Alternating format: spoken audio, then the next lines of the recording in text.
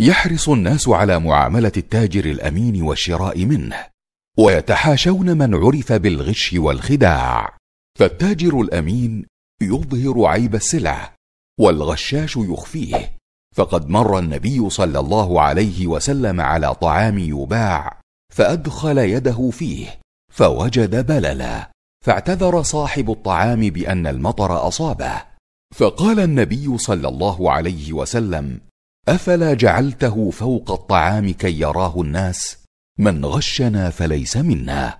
والأمين يبين صفات السلعة بدقة والغشاش يبين الصفات الحسنة ويخفي السيئة فيحرم من البركة. قال النبي صلى الله عليه وسلم البيعان بالخيار ما لم يتفرقا فإن صدقا وبينا بورك لهما في بيعهما وإن كذبا وكتما. محقت بركة بيعهما. والأمين ينصح الزبون ويدله على ما هو أنسب له من أنواع السلع وأسعارها. أما الغشاش فيرغب الزبون في السلعة التي مكسبها أكثر ولو كانت لا تناسبه. والأمين لا يزور العلامة التجارية ولا يبيع السلعة المستنسخة على أنها أصلية ولا المستعملة على أنها جديدة. بخلاف الغشاش الذي يستسيغ كل ذلك. والأمين لا يبيع سلعة ضارة كالأغذية الفاسدة. بخلاف الغشاش الذي يبيعها فيضر بصحة الناس.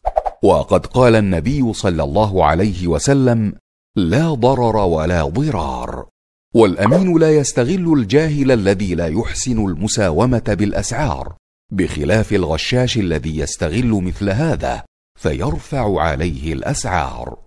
والأمين يوفي المشتري السلعة كاملة عددا ووزنا بخلاف الغشاش الذي يطفف في الكيل والميزان وغيرهما. قال تعالى ويل للمطففين الذين إذا اكتالوا على الناس يستوفون وإذا كالوهم أو وزنوهم يخسرون. والأمين يلتزم الصدق في بيان السلعة ومكان وموعد تسليمها وغير ذلك. بخلاف الغشاش فإنه يكذب فيشق على المشتري. قال النبي صلى الله عليه وسلم التاجر الصدوق الأمين مع النبيين والصديقين والشهداء. فالزم الأمانة واحذر من الغش فإنه خيانة والربح الناتج عنه حرام.